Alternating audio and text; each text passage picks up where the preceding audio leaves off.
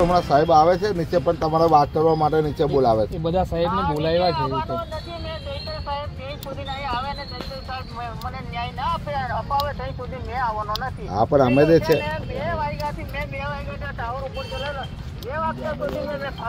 છું. હા પણ અમે જે છે છે. બરાબર એમને સાથે પણ વાત કરો નીચે આવીને એમને હા કઈ એટલે જ કહું છું કે આપ થાકી ગયા છો નીચે આવી જાઓ અમે તમારી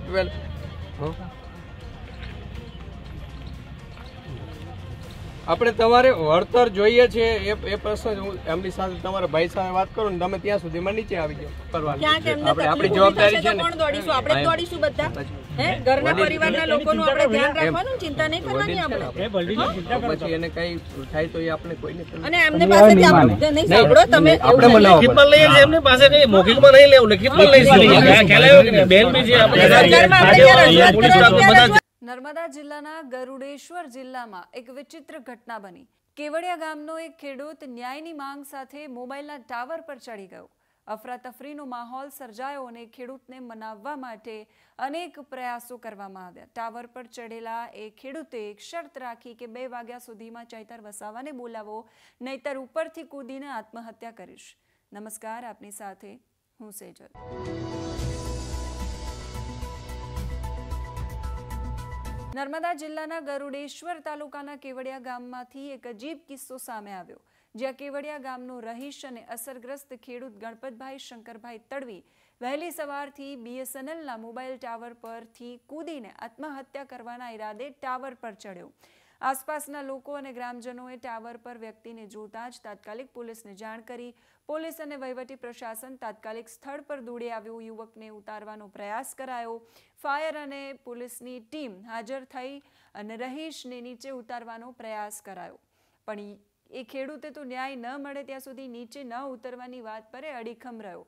ટાવર પરથી જ એક જ વાતનું રટણ કરી રહ્યો હતો કે જ્યાં સુધી ચૈતર વસાવા મને ન્યાય નહીં અપાવે, ત્યાં સુધી હું નીચે નહીં ઉતરું.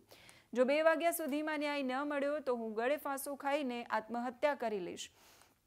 એ ખેડૂતના કહેવા પ્રમાણે અધિકારીઓ ફક્ત ઉડાવ જવાબો આપે છે. જો માંગ સંતોષવામાં નહીં આવે તો હું ટાવર પરથી કૂદી જઈશ. ટાવર પર ચડેલા સ્થાનિક ગણપતભાઈની માંગ છે કે અમારી વડીલોપાર્જિત જમીન જે લઈ લેવાય છે, જેનું યોગ્ય વળતર આપો, નહીતર અમને અમારી જમીન પાછી આપી દો. હમણાં જે કેવડિયા સત્તા મંડળ દ્વારા વિવિધ વિભાગોમાં ભરતી પ્રક્રિયા કરી, એમાં પણ સ્થાનિકોનો સમાવેશ કરાયો નથી અને બહારના લોકોની ભરતી કરવામાં આવી રહી છે. જો બે વાગ્યા સુધીમાં મારી માંગ નહીં સંતોષાય, તો હું ટાવર ફરજ ગળે ફાંસો ખાઈ લઈશ.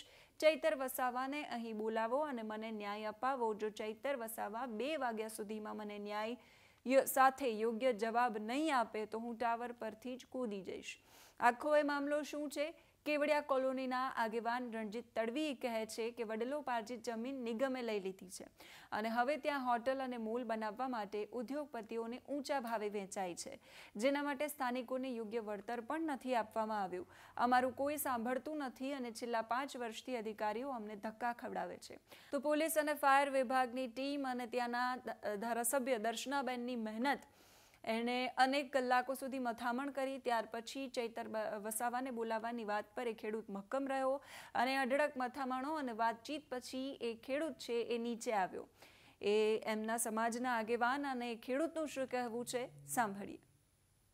ગણપતભાઈ શંકરભાઈ તડવી રહેવાસી કેવડિયા તાલુકો ગરુડેશ્વર, કે જે આજરોજ તારીખ ચૌદ સપ્ટેમ્બરના રોજ સવારે આઠ વાગે ગરુડેશ્વર બીએસએનએલના મોબાઈલ ટાવર પર ચડી ગયેલ જે અંગે ઘટનાની અમોના મામલતદારશ્રી અને પોલીસ વિભાગ મારફત જાણ થતાં અમો ઇન્ચાર્જ એસડીએમ અને વહીવટદારશ્રી સરદાર સરોવર નર્મદા નિગમ લિમિટેડ સવારે આવેલ તેમજ એના માનનીય ધારાસભ્ય શ્રી ડૉક્ટર દર્શનાબેન પણ આવેલ અને ગણપતભાઈ શંકરભાઈ છે જે તળવી એમને જે એમની જમીનનું સંપાદન થયેલ જે કેવડિયા ગામની જે તે વખતે અને એમને કુલ એકતાલીસ એકર, એકતાલીસ પોઈન્ટ એકત્રીસ એકરનું સંપાદન થયેલ, જે પૈકી એમને અગિયાર પોઈન્ટ, અગિયાર એકર ને એકત્રીસ ગુઠા જમીનનું જે તે વખતે પાંત્રીસ લાખ બાવીસ હજાર પાંચસો પૂરા વળતરનું ચૂકવણું થયેલું.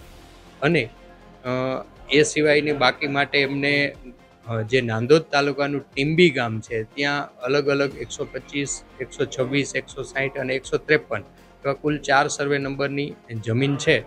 એ પસંદ કરી અને ફાળવી આપવા માટેની કાર્યવાહી થયેલ. પરંતુ કૌટુંબિક કારણોસર જે ગણપતભાઈ શંકરભાઈ તડવી છે, એમને એ જમીન જે છે એ સ્વીકારવાની બદલે એમની માંગણી કે રજૂઆત એવી હતી કે એમને જે બાકીની ત્રીસ એકર જે જમીન છે એમનું પણ રોકડમાં વળતર આપવામાં આવે.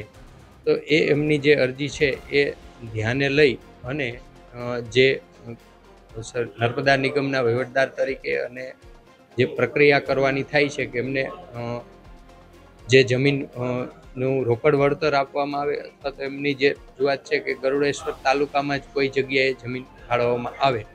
તો આ બાબતે એમને સત્વરે જે વળતર ચૂકવવાનું છે એ બાબતની વહીવટી પ્રક્રિયા જે છે દિન ત્રીસમાં પૂર્ણ કરી અને સરકારે વળતર ચૂકવવા માટેની એમને બાંહેધરી આજરોજ મારી માંગ હતી, મારી માંગ પૂરી ના કરી, એના માટે હું ટાપર ટાવર ઉપર ચડીને આત્મહત્યા કરવાનું મેં વિચારી લીધું.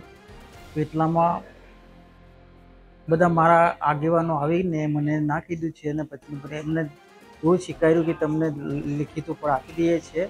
ને તમે આવું બધું ના કરશો એવું કીધું એટલે દર્શનાબેન ને લોકો બધા આવ્યા. એટલે એને એમને કહેવાથી મેં નીચે ઉતરી ગયો. પેકેજ જે માંગ કરેલી છે પેકેજ મારું આજ સુધી પૂરું નથી કર્યું આજે પાંચ વર્ષ થયા હું ધક્કાધક થઈને થાકી ગયો. તોય છતાં આ લોકોએ કંઈ મારી વાત સાંભળી નથી. એના કારણથી મારે આત્મહત્યા કરવાનો થયો હતો. એના લીધે મેં ટાવર ઉપર ચડી ગયો.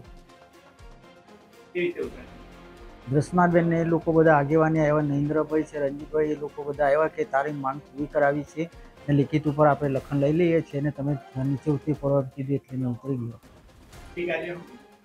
અધિકારીએ કીધું છે કે લિખિતમાં તમને આપી દઈશું ત્રીસ દિવસની અંદર તમારું જે માંગ છે પૂરી કરી દેશે એવું કીધું છે અધિકારીએ. તો એક જનપ્રતિનિધિ જે જનતા વચ્ચે જાય છે એ જનતાના મગજમાં કેટલે સુધી પહોંચેલા હોય છે એ આ ઘટના પરથી જાણી શકાય છે. સાથે એવું પણ આપણને ખબર પડે છે કે જ્યારે તમે વારંવાર રજૂઆત કરો અને કોઈ ન સાંભળે ત્યારે થાકેલો, હારેલો માણસ એવા સમયે આ પરિસ્થિતિ સુધી પહોંચતો હોય છે. અધિકારીઓ, પ્રશાસન જો એમની વાત સાંભળી લેતા તો ખેડૂતોને આ ઘટના સુધી ન પહોંચવું પડ્યું હોત. અપેક્ષા એ જ રહેવાની છે કે નાગરિકોને તમે યોગ્ય સુવિધા નથી આપતા, પણ જે નાગરિકો તમારા સુધી ફરિયાદ કરવા માટે પહોંચે છે, કમસે કમ તમે એની ફરિયાદ સાંભળી લો. અત્યારે આ વિડીયોમાં બસ આટલું જ. તમે આ મુદ્દા પર શું માનો છો, કમેન્ટ કરીને ચોક્કસથી કહેજો. નમસ્કાર.